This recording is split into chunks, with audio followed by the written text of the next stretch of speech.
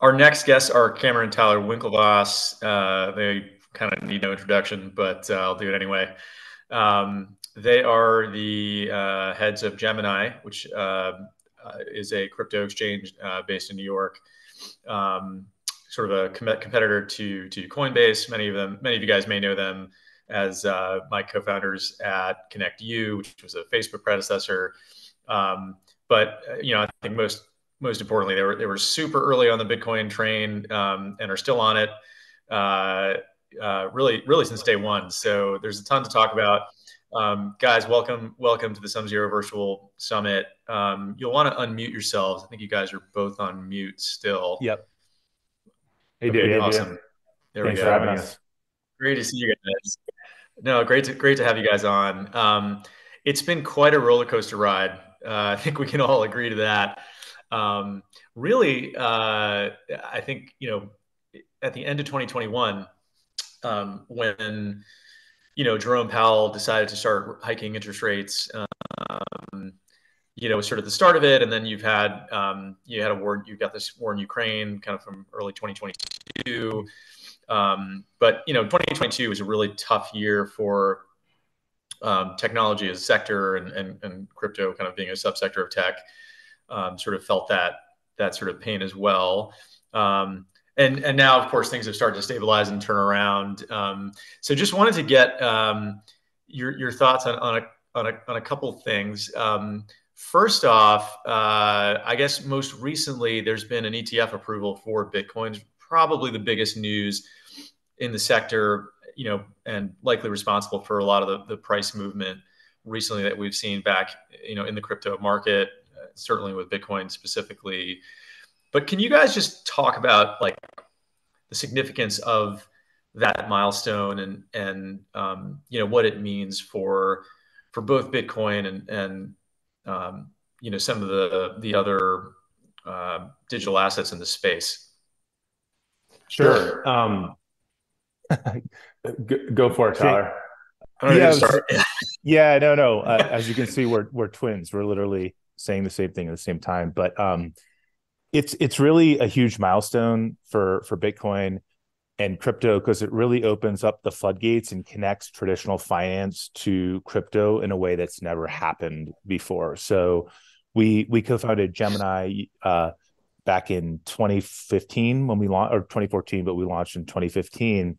And you can open up account and hold Bitcoin itself. Um, but a lot of people can't do that. A lot of investors, a lot of the deepest pockets, they need a securitized wrapper of it. Um, whether you have a 401k or your pension fund, you may not be able to open up an account at Gemini and actually buy Bitcoin itself.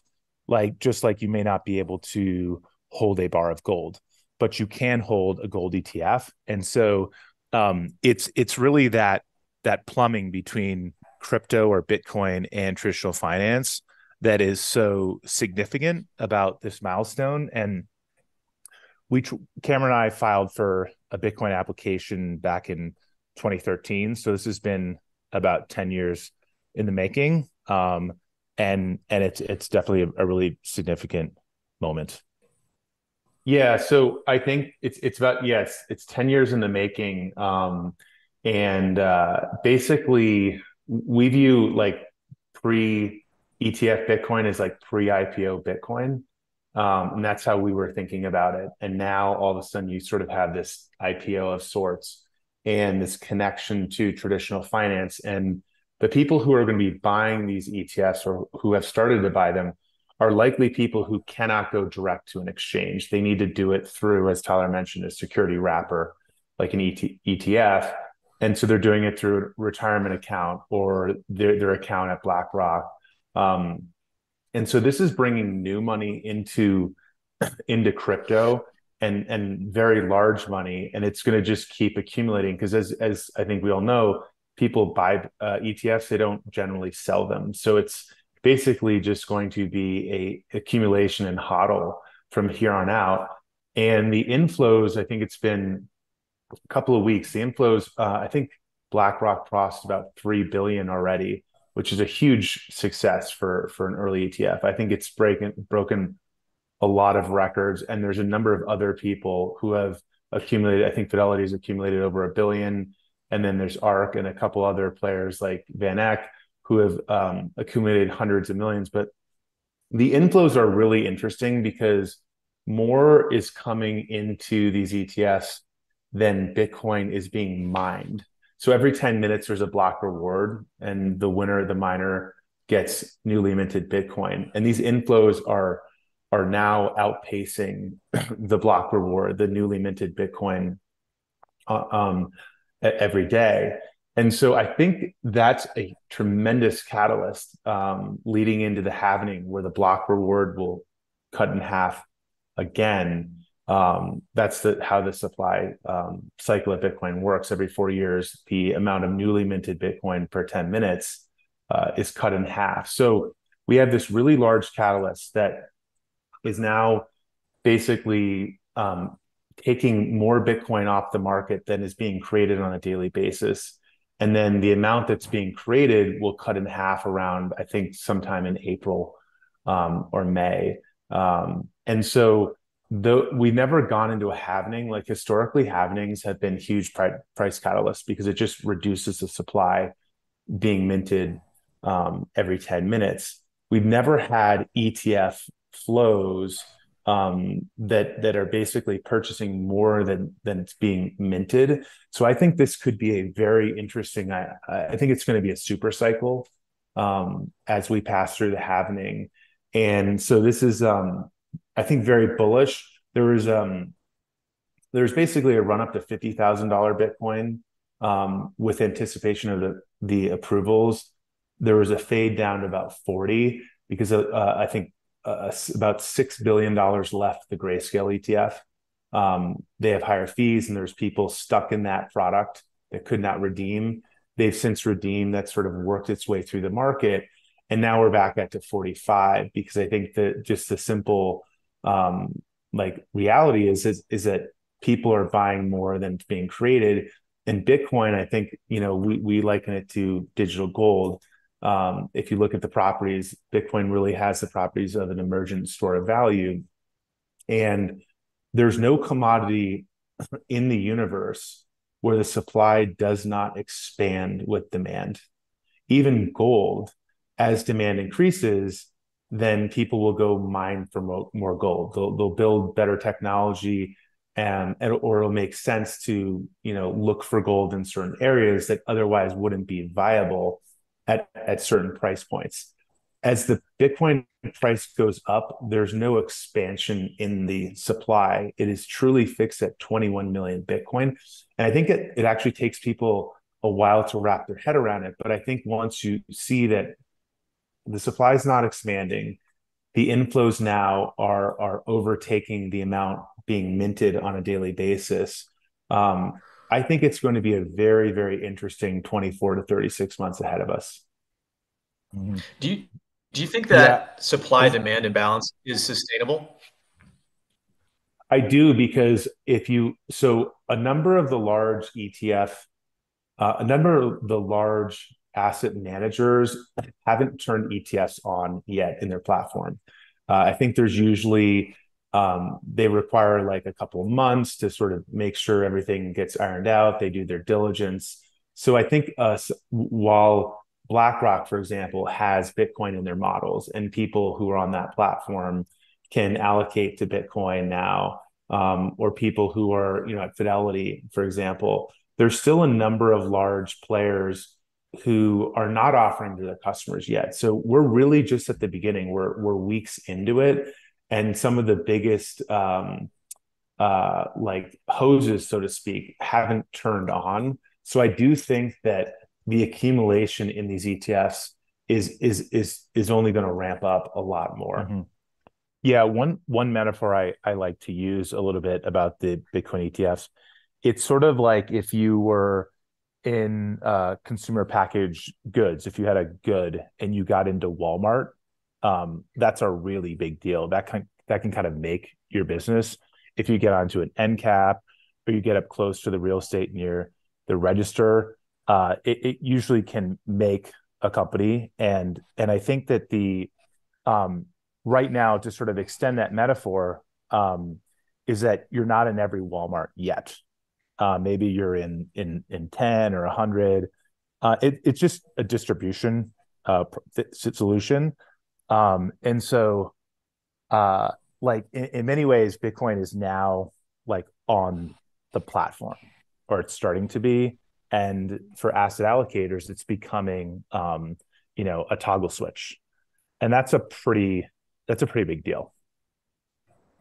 Yeah, one one anecdote that, or this is kind of an interesting data point. We were looking at um, uh, potentially investing in Bitcoin, um, but the bank that we were talking to said that if we wanted to do that, we'd have to hold like it was like some crazy amount in reserves, um, right? Which sort of made it uneconomic to own the Bitcoin at all, and this circumvents that problem entirely. So it's just it's a huge bottleneck that's been removed. Um, Cameron, you mentioned um, you know there's there's a lot of demand that that isn't that hasn't quite turned on yet because it sounds like certain um, maybe financial advisory shops or similar institutions like need a certain grace period before they can actually buy these ETFs. Can, can you um, dive into that a little bit further? I mean, are there certain institutions that you know of that, um, like you know, have demand for it, but are just waiting in the wings um, that you can speak to? Or I'm just curious what the the sort yeah, of how that would I play don't, out. I don't know specifics, but what, what I've heard, I, I think uh, places like Wells Fargo. I'm not sure if JP Morgan has any ETFs on their platform or Morgan Stanley. Um, like so the private banks. Yeah, there's some. I, th- I still think there's a, a, lot of large private banks um, and platforms that that haven't put them on yet. And part of it, it's it's just you know I think their their policy is that they just don't put things on unless they've had a certain you know time in the market, so to speak. And then there's um, uh, there will be one or two platforms uh, that probably won't do it. Um, it will take like a, a, year or two, or they're just not, you know, they're against Bitcoin for whatever reason.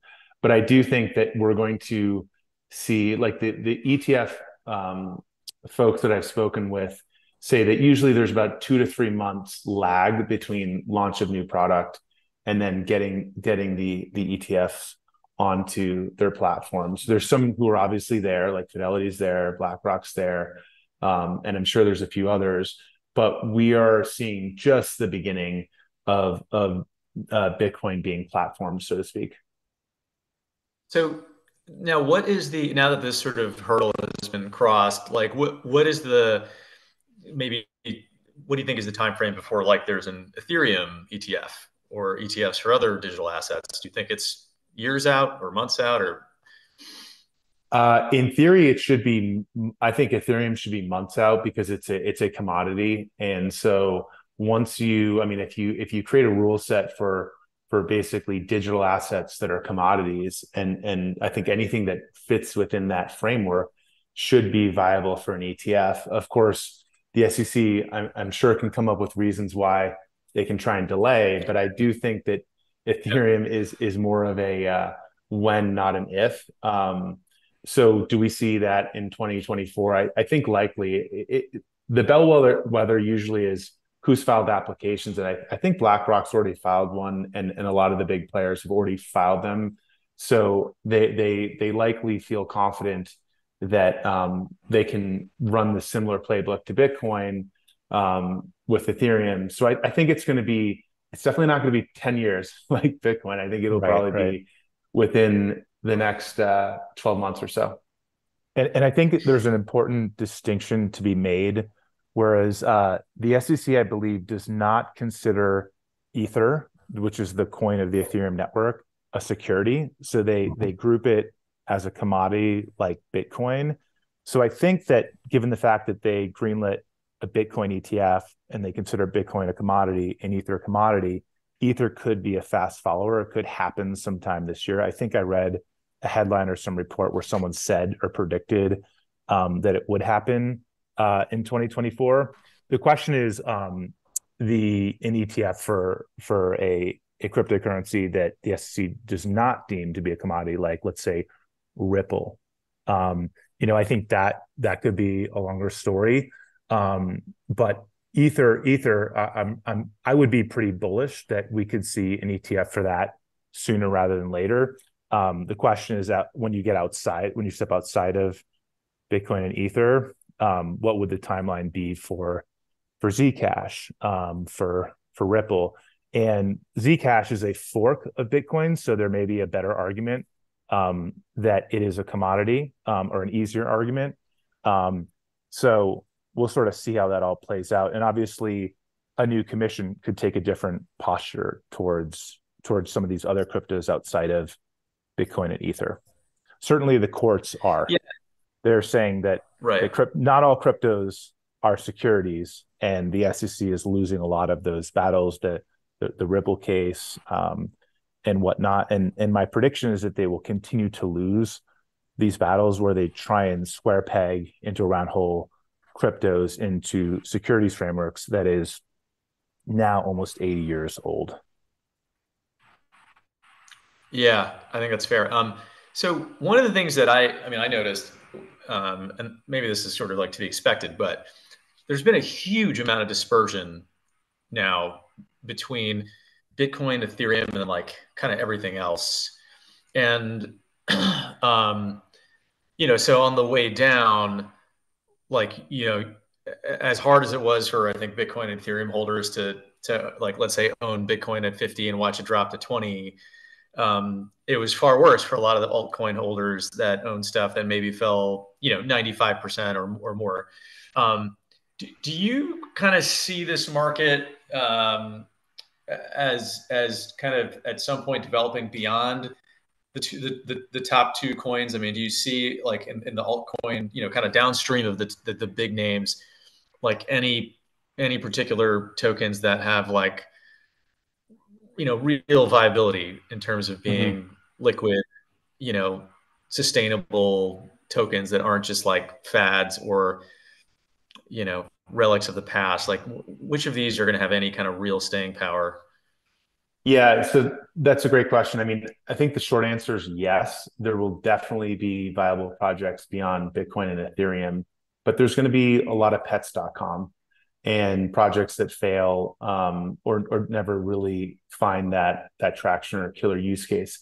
I think i think it's important to note like bitcoin has found its killer use case. It's digital gold and and it's an inflation hedge. It's a disaster hedge.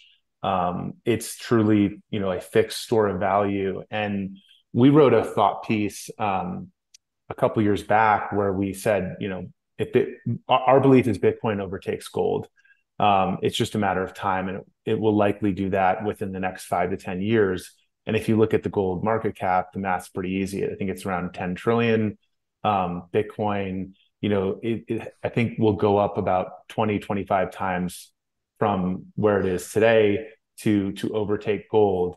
And it's just a it's a matter of time. Um, and and that's really all Bitcoin needs to do is really just be a better gold, which it it is. If you look at the properties, it's it's more portable, it's more divisible. Um, you can't counterfeit it. It's um, it just sort of beats gold across the board. Um, and if you talk to any millennial like um, or Gen Z, they want you know they don't want to own hardware; they want to own software. They live online. They they grew up in a streaming world, um, and that's where they that's where they are. Ethereum is basically a decentralized virtual computer.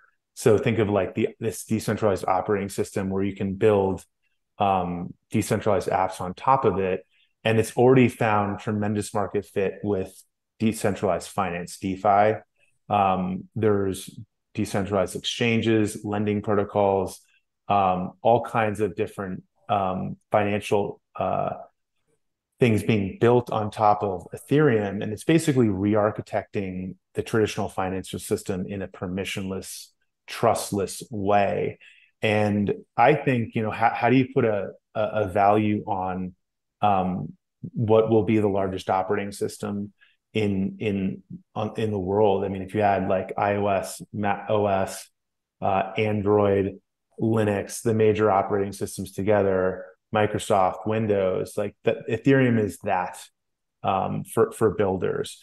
And you know, will there be is is there room for maybe one or two others? Possibly, because there are you know two to three major operating systems. I think people like variety, and there's trade offs um, depending on how you how you build it. But there's not room for more than a, a few.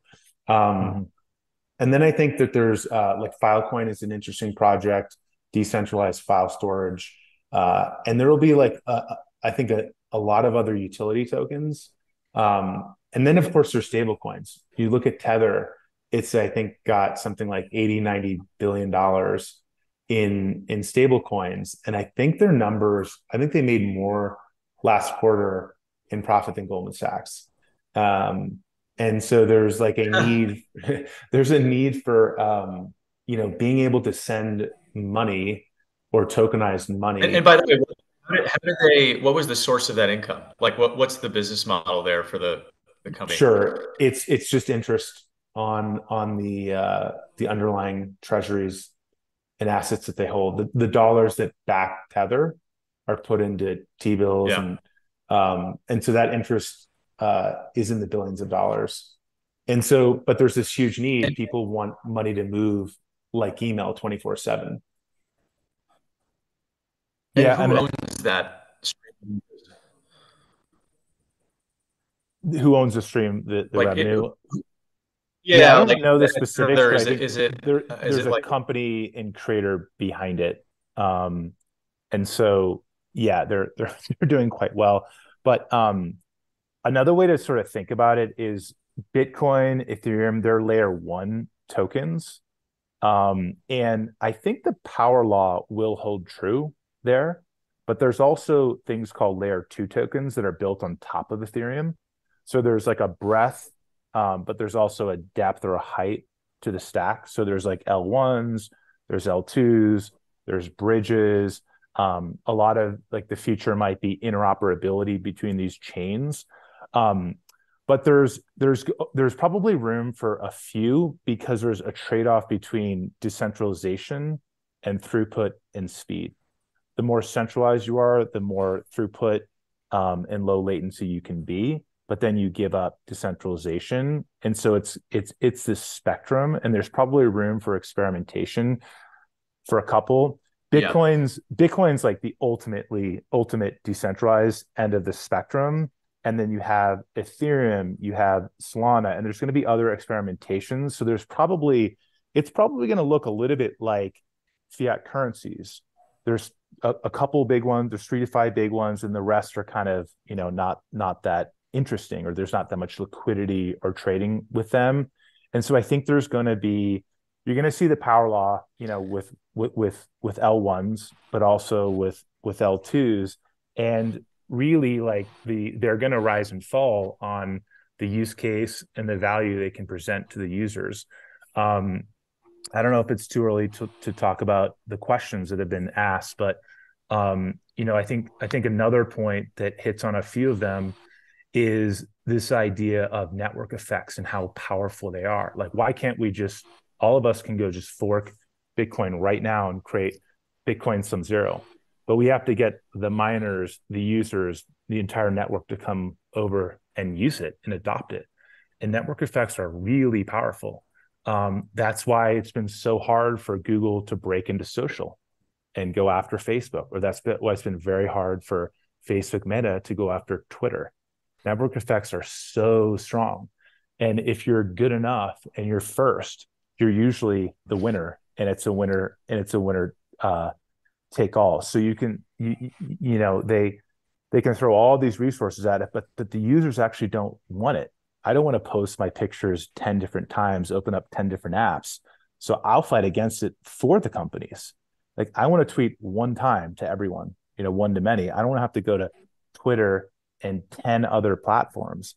And I think that that that the network effects and when you when you think about crypto and how to value it, it's important to think that these are networks and to think about valuing, it's not with a cash flow model, it's with Metcalfe's law and the number of users, uh, you know, exponentially squared.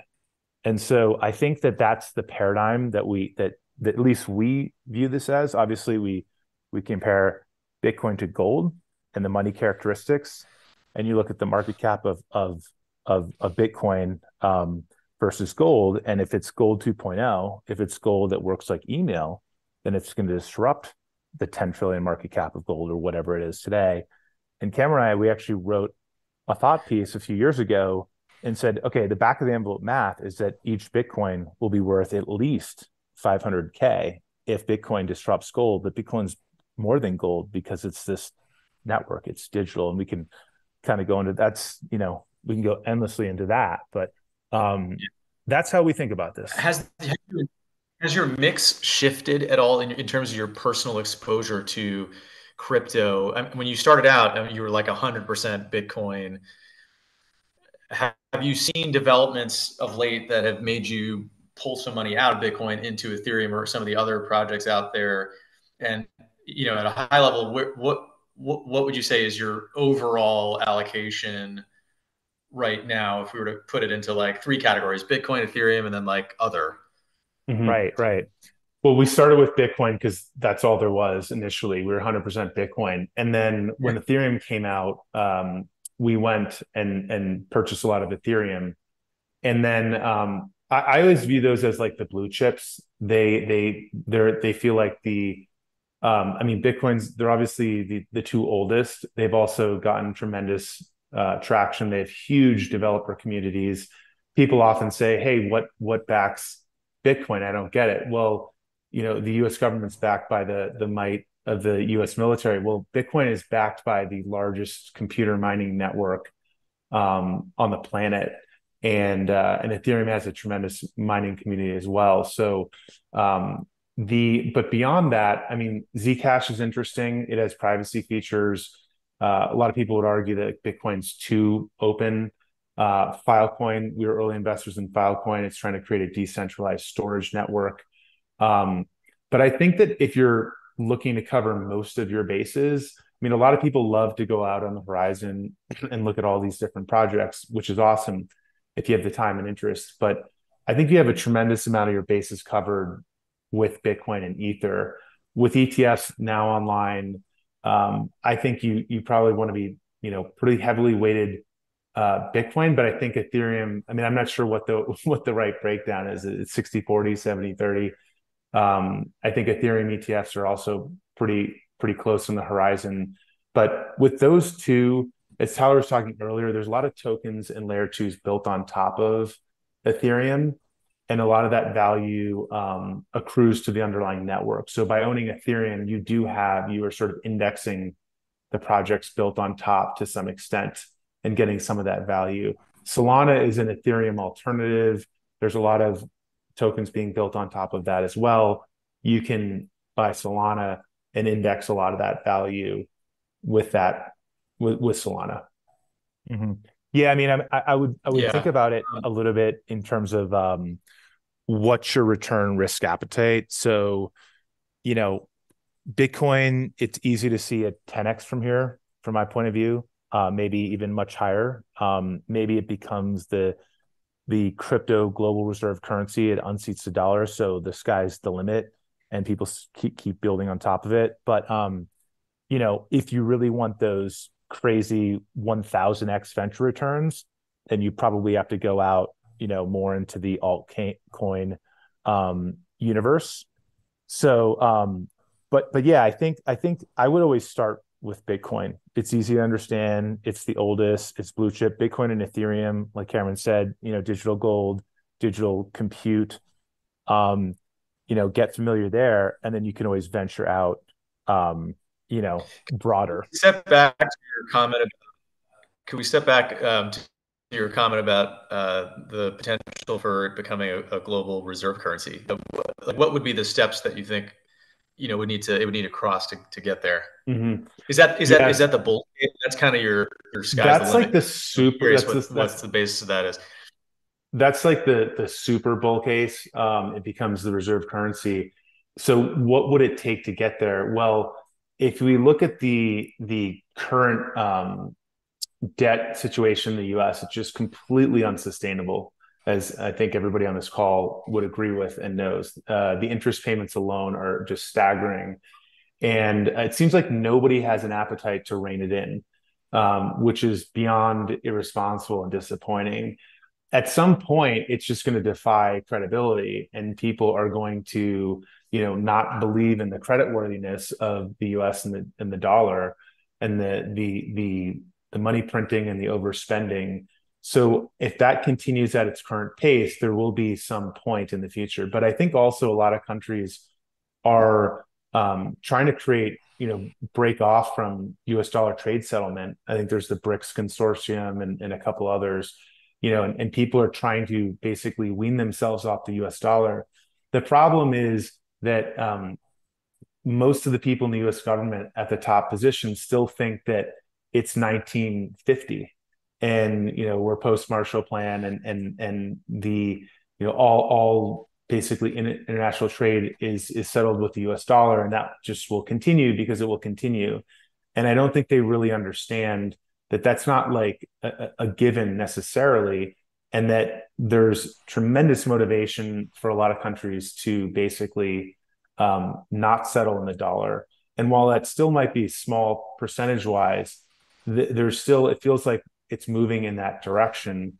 And um, if if I think if the U.S. dollar and the, and the, U.S. government doesn't get their act together, I think you're going to see more and more countries like El Salvador being one of the first adopting Bitcoin as as legal tender, um, and or or just failed countries. Um, uh, and, and, also, we know, might talk about what these countries hold on their balance sheet, right? Maybe traditionally they said dollars is safe, but with inflation and money printing and whatnot and the soft defaulting of the dollar, maybe they start to say, let's put Bitcoin on our balance sheet. We've already seen that in a couple of countries. I believe El Salvador has has done that.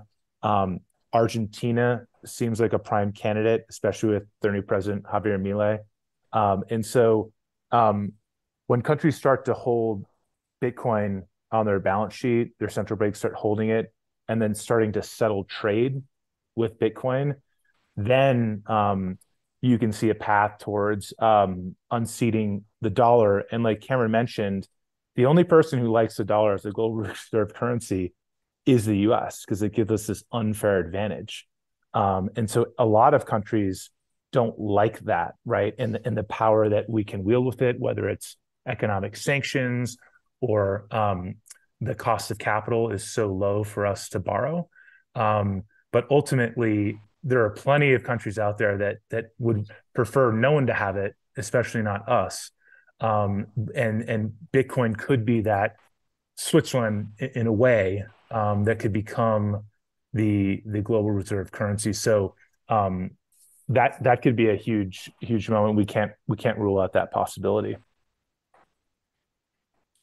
Yeah, that, that's super interesting thinking about it from the standpoint of countries outside the U.S. Um, can you guys just rate uh, uh, Gary Gensler's performance um, so far? Just curious to get your thoughts on on you know kind of his effort, like just his, his, his, sort of emblematic of I think of a lot of the challenges that the industry faces. But I'd be curious to get your thoughts on him. yeah. So what's the scale of rating? Zero to ten. One to ten. Yeah. Uh, yeah, like negative. um, okay. So the yeah. where do we start? Um, I think the SEC has provided has not written a single rule or guidance for for crypto and they've totally talked out of both sides of the mouth so he's been in front of congress saying i don't have the the mandate to regulate crypto. And then six months later, a year later, he says, uh, just kidding, every crypto is a security. Now you've got to comply with security laws, which makes no sense because if you go to, and it says, you know, go to this forum online and whatnot. But if you look at the forums, you know, who is the CEO? Who is the board of directors? Well, Bitcoin doesn't have a CEO. It doesn't have a board of directors. So it's a hollow gesture. It's a disingenuous gesture that this idea that that Ethereum can just walk in. Who is Ethereum? It's not one person. It's not a company. It's not a CEO. There's no board of directors. It's not a C corp. Can walk in and registered, and so it's um, and they've used that excuse saying, "Oh, you haven't registered," which is an impossible thing to do, and because you haven't registered, um, we'll just sue you. And so there, it's been a regulation through enforcement uh, posture, and and it really hasn't been constructive because mm-hmm. nobody knows what to do. You can't come in and register, and and there's no guidance, there's no rulemaking, and their position is that everything is a security, which which makes no sense. If securities can't be traded peer to peer, like I can't send you a security from my phone to your phone, and so that completely defeats and kills the purpose of crypto. And so um, there's been a real failure to understand that this is something very different. This is a new paradigm, and we need we need cooperation between regulators to help understand this and work with industry. And there's been no real collaboration. It's been you know very much a, a hollow gesture. Um, and so and just stepping back, it's it's really been all political, and we can kind of get into that, but um, it's been it's been pretty bad uh, for for the mm-hmm. crypto industry. They haven't stopped any of the frauds. They didn't catch FTX. They didn't catch you know Terra Luna. Any of the blowups. They didn't prevent it. And their response was just to turn around and start suing all the good actors. And maybe stepping back, just again, and we could spend you know hours talking about this. Um, and certainly we've we've lived it, but the failure to greenlight a Bitcoin ETF created all of the problems and all of the frauds that we saw in 2022 and 2023. Because what it did is it pushed everyone offshore into the arms of players like FTX and whatnot, instead of it happening here. And so, because the regulation was too draconian. It was too, it was walls, and you couldn't get anything done. Companies left the U.S. and U.S. investors left the U.S. because they saw the opportunity over there. They couldn't get it here, and so I think it set the stage for for all this bad behavior. Ultimately, I think if if the if the if the Bitcoin ETF had been greenlit in 2018, I don't think you would have had FTX. I don't think you had a lot of these frauds, and U.S. invest U.S. investors would have stayed on uh, more regulated platforms because they could have gotten the opportunity, the coins, the products they wanted, as opposed to having to go offshore. It was a complete wild west. So, I think history will not be kind in the look back to the SEC. I think ultimately it will come down that the last decade uh, they were a failed regulator when it came to crypto and understanding the future and being agile and working with companies to to to usher in uh, that future. And what did they protect U.S. investors from at the end of the day by not greenlighting a Bitcoin ETF five, seven years ago? They protected them from Bitcoin, which was the best performing asset of the last decade and is showing to be the best performing asset asset of of this decade. It's like preventing U.S. investors from, you know, a FANG company, from Tesla or or whatnot, um, and and and uh, Facebook.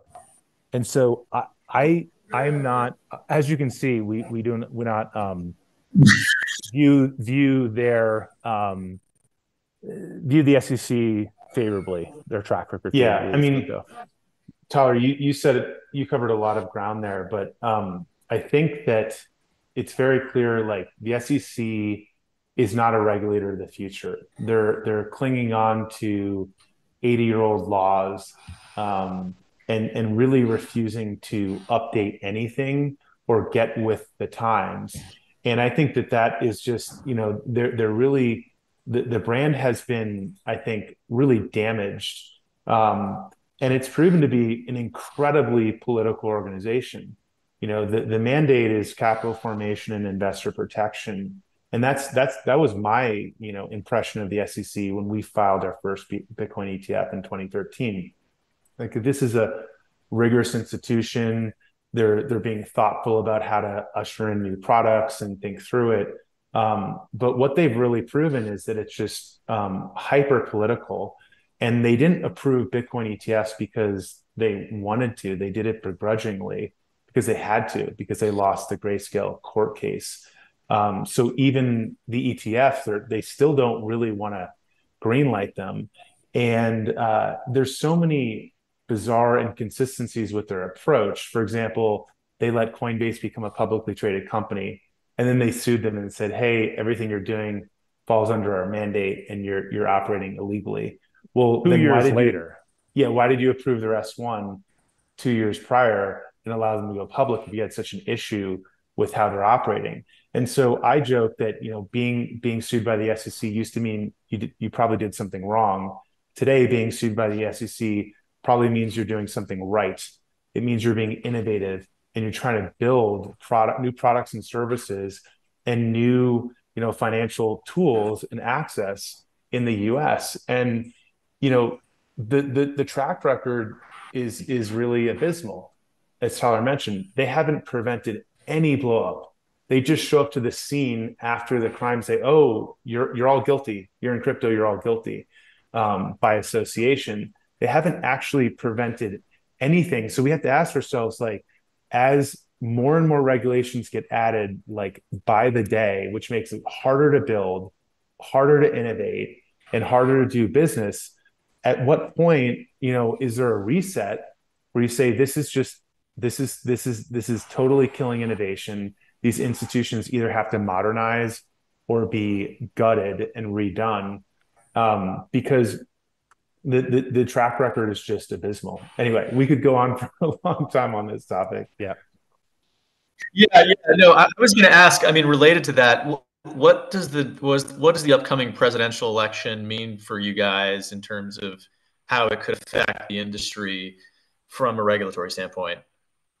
Yeah, that's a that's a good that that is a very important question. Um, I think that the hostility of the current administration and the SEC um, and, and, the leaders at various institutions against crypto um, is is really um, if that switches, that's going to be a huge you know benefit, obviously. And so I think like we have to continue to remember that like ETFs weren't approved because the SEC believes in the product. They had to. The SEC has been attacking um, regulated businesses like Gemini, like Coinbase, who have always operated within the spirit of the law. And it's just pure political regulatory attack um, by Gary Gensler to appease um, Elizabeth Warren because he he wants you know a political appointment down the road, right? He made a pact with the progressives to you know i'm going to be i'm going to lead the war on crypto. And uh, it, it's very kind of obvious and transparent what's going right. on. he, he, he's he's become their attack dog right? He is elizabeth warren's pit bull. Right. So um so in spite of all that because because being the chair of the sec is a stepping stone for him to another higher political office which people speculate is to become the secretary of the treasury that's so, really what we're talking about here. When when you not talking about U.S. investors, innovation, the economy, we're talking about his own political, personal agenda and ambitions. So when you when you look at forty five thousand dollar Bitcoin today, and the SEC has brought all of the resources and might to try and sue and slow it down and stop it. And by the way, they they're losing. They lost Ripple. They lost Grayscale they continue to lose across the board because they they've been picking these fights and they're on the wrong side of the law and they refuse to pass regulation. And so I actually think the the SEC's mandate uh, long term is going to be greatly diminished because of the refusal to actually build. Like the judges are just to they're just um, making the law for them. But the point, my my my larger point here is that Bitcoin is at 45,000 with tremendous regulatory headwind in the US. And it's not sustainable. Like the, the headwinds are um, you know, Bitcoin will far outlast one person's political uh, ambitions. It's it's way greater than that. Um, but it, you know, I think if we see a switch to a Republican um, president, I think you're going to see a much different landscape, a much more innovation friendly. I think we're going to see a lot of um, repeal or cut back of the regulatory state. And I think that um, we we really need America needs a reset on this. Um, it's just it's impossible to do business and build at the speed of innovation at this point. And the internet would have absolutely been killed by regulation if the lawmakers and regulators understood how big it was going to be back in the 90s during the, the, the early days of the commercial internet. They would have absolutely killed the internet. Um, but they took a light touch approach and it was the right approach. And we see what's happened. And the regulators today are trying to kill crypto and they're doing their best to do it, but they, they actually can't. That's the beauty of crypto. Like the internet, you could have potentially really um, tried to limit it, but with crypto, they, they actually can't. So they're aware of how big it is and how powerful it is and how it disrupts power structures and how it's going to level the playing field. And and and when you see Jamie Dimon, um, you know, attacking Bitcoin in response to a question with Elizabeth Warren, it's it's very clear like what the power structure wants and what they're what they're afraid of, right? They don't like um, access, universal access. They don't like the ability to bank yourself with a smartphone and a Bitcoin address. They don't like all the promise, um, despite what they say that crypto ushers in. But the good news is is that it's way more. It, it can't be stopped, and so they understand the power, but it, it can't be stopped. Yeah, I'd like to say that um, crypto's made the right enemies. that's really uh, that's it's quite an interesting thought. That's that's fascinating. It's almost kind of like what could have been. Um, guys, we have a couple questions uh, from listeners. Um, I think Braden's kind of got them at, at his disposal. Braden, do you want to just um, relay those over? we'll start with uh, the one about 21 million bitcoins being reached. Yeah, absolutely. uh, one of these questions came through a bit earlier. So just talking about limited supply um, being at 21 million. So if 21 million is reached and there are no more coins to mine to validate the network, what happens in that end state? Yeah, that's a so, great question. Um, so miners make uh, they earn Bitcoin in two ways. They get the reward, the mining reward, every 10 minutes. And like Cameron mentioned earlier, that award is going to be cut in half in in um, around April or May of this year. So that supply being dumped on the market will be much less. It's currently um, 6.25 bitcoins every every 10 minutes, and that will be cut down to uh, 3.125, uh, I believe, on I think around the 21st of April. Right. So when the miners earn Bitcoin, oftentimes they have to sell it to reinvest in more uh, mining rigs and keep ahead the pace of of innovation. It's sort of a arms race, the mining arms race. So the sell pressure on the market when the Bitcoin halving halving happens, um, the sell pressure will will uh, cut in half, um, which is always again usually a, a good catalyst for for Bitcoin. Some people argue that it's priced in, um, but it never, it always seems to be a catalyst of sorts, um, a big sort of inflection point. Um, the other way that miners earn earn Bitcoin is uh, transaction fees. So to send Bitcoin, um, you have to pay a transaction fee, um, and ultimately, um, so that that balance of mining reward uh, and transaction fees will pretty much shift entirely to uh, miners earning transaction fees when the 21 million uh, cap is is is reached. Um, so it will turn into more of a for for validating the network and being the network for free. They will just just be charging transaction fees, uh, whereas today they earn the mining reward every 10 minutes, but also charge some transaction fees. and just to timescale that, it's uh, I think by 2140 is when all bitcoins will be are expected to be in in circulation. So um, about 120 years from now. And just to put some numbers on it, so at six six and a quarter Bitcoin per 10 minutes, roughly $300,000 of value is created every 10 minutes in the Bitcoin network. That's going to cut in half. So assuming the same prices as today in April, that's going to go down to about 150,000. Um, so that the the the amount of Bitcoin being created cuts in half, assuming miners are selling a, a good portion of that to fund further operations. That reduces selling pressure, and then, as discussed earlier, ETFs are already accumulating more Bitcoin per day um, in aggregate than new Bitcoin are being created. That that um that's new as of weeks ago. That buying uh, sort of pressure has never existed in that form, and as I mentioned, it's just getting started. Um, we've never gone into a halvening with that type of buy pressure, that buy and hold pressure from ETFs. And while you know the efficient market hypothesis would tell you it's all priced in, it historically never has been.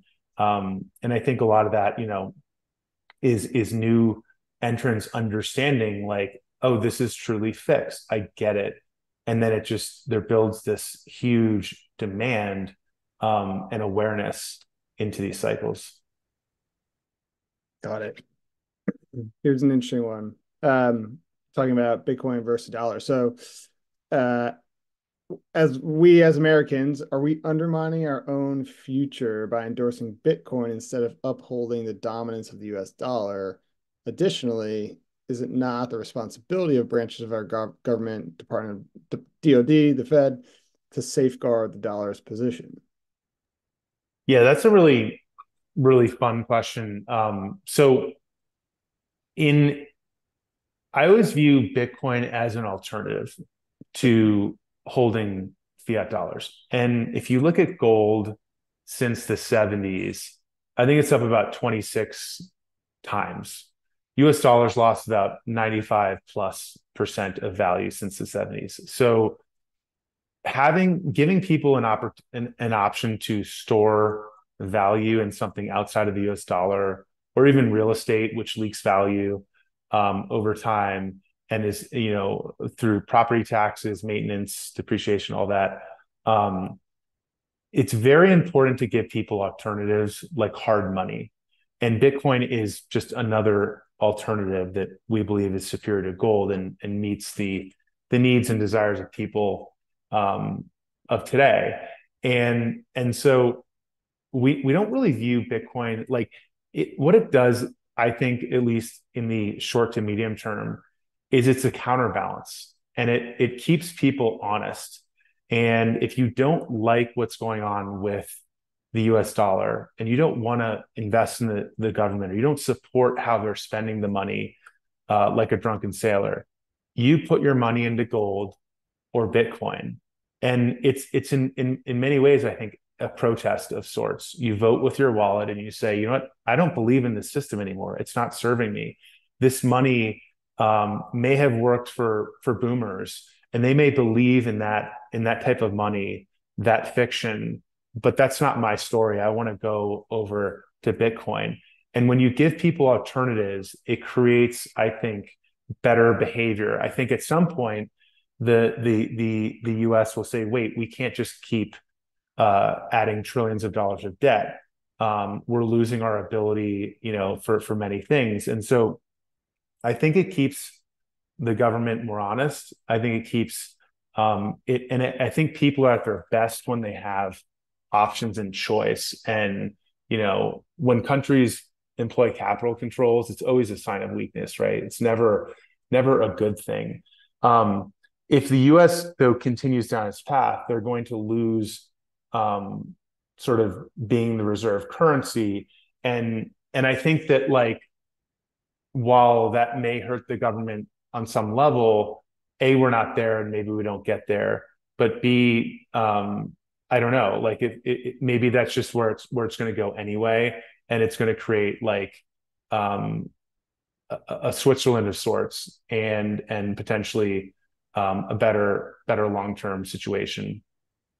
I th- think the best the best um, way to protect the the dollar is responsible fiscal management. Attacking Bitcoin won't change anything, and um, you can't stop Bitcoin, right? It, there's no there's no choke point. There's no CEO. There's no company.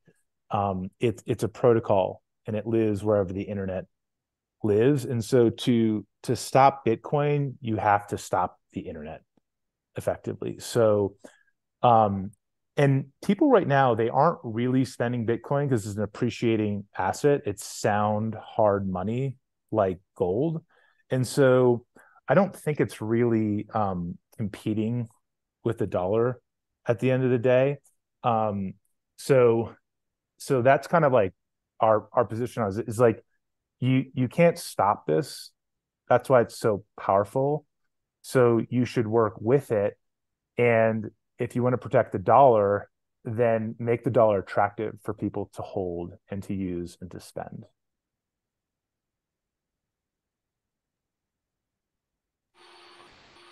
Guys, that was super interesting. Um, I, I think we can we can pretty much end it on that note. Um, lot to unpack here. Um, yeah, it's uh, the the sort of geopolitical implications of fiscal spending are, are quite real. Um, and I guess you know the question around when the U.S. will actually rein in the spending is is uh, um, sort of a big unknown. People have been talking about this for the last four decades, probably. You know what's going on with U.S. debt.